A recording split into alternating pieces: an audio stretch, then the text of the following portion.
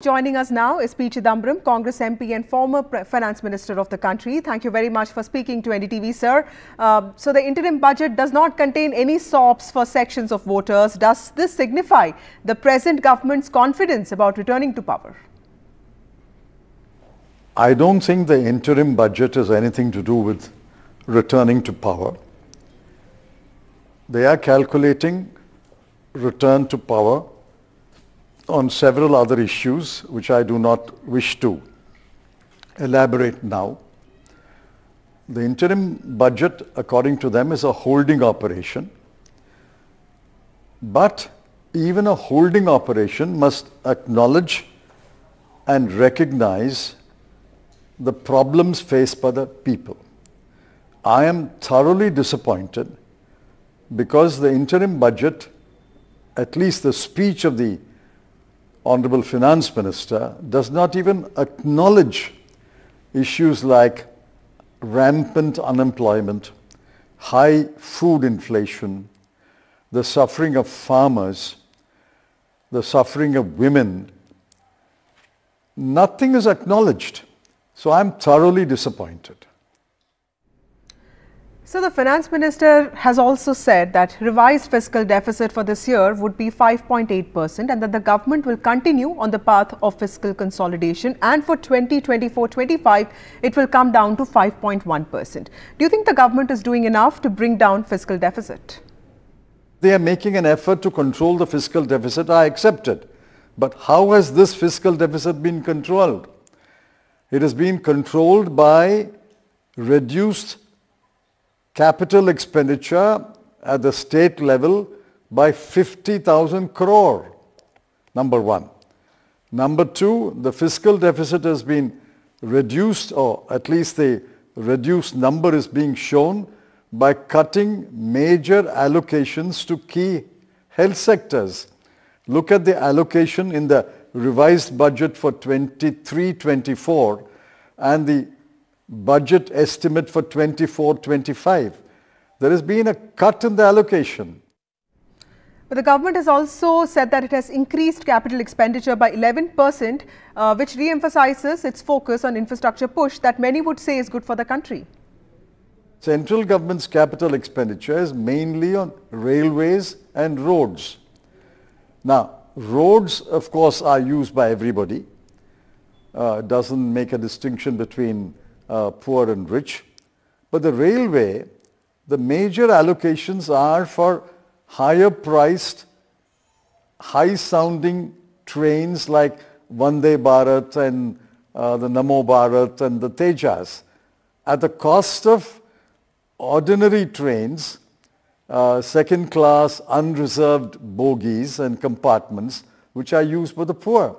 There is documented evidence that at the cost of the trains which are used for the poor, they are spending massive amounts of money for trains which are largely used by the middle class and the upper middle class. The Government also made a very important announcement today that it plans to release a white paper, uh, paper on the alleged mismanagement of the economy prior to 2014 and it says that it, this is aimed at learning from past mistakes. How do you see this move? If the next government happens to be a non-BJP government, they can also uh, announce that we will publish a white paper. The question is who's writing, writing the white paper? if the government writes a white paper, we know what the outcome will be. It will be like the 63-page mini economic survey singing one's praises.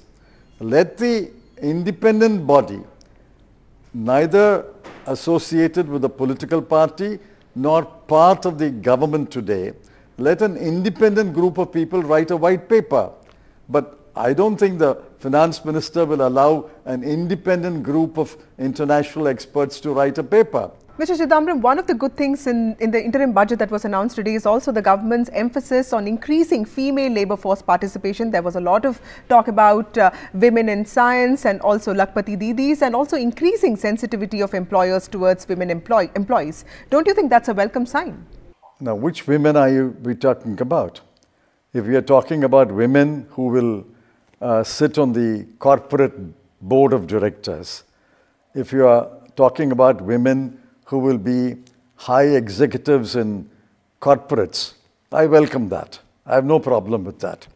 But look at the data that I put out at 5 o'clock today in my press conference.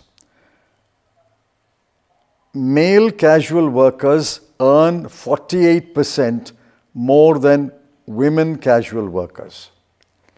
Male regular workers earn 24% more than women workers. Worker to population ratio for urban women is 21.9% as against 69% for men.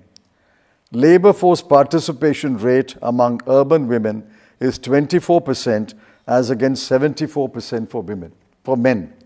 Now the finance minister should actually address this disparity, the disparity between working men and working women in the wage in the labor force participation rate and in the worker to population ratio.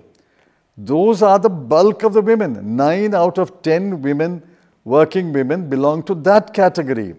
But she's talking about corporate boards and high executive positions, which I welcome. But that is scraping the surface. That is less than 1% of the working women of this country. Uh, in fact, it will be a, a small fraction of 1%.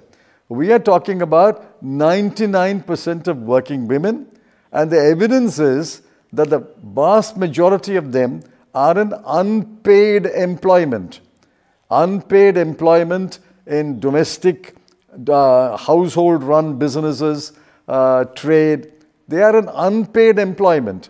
What about the domestic help workers? They are underpaid. Why doesn't the finance minister say, I will ensure that minimum wage is paid to all domestic help. I will ensure that women in the unorganized sector get the same pay as men working in the unorganized sector. This is a government of the rich, by the rich, and for the rich. Naturally, it is focused on corporate directorship, high executive positions in big corporations. I welcome that, but that's scratching the surface. Thank you, Mr. Chidambaram, for joining us on this broadcast.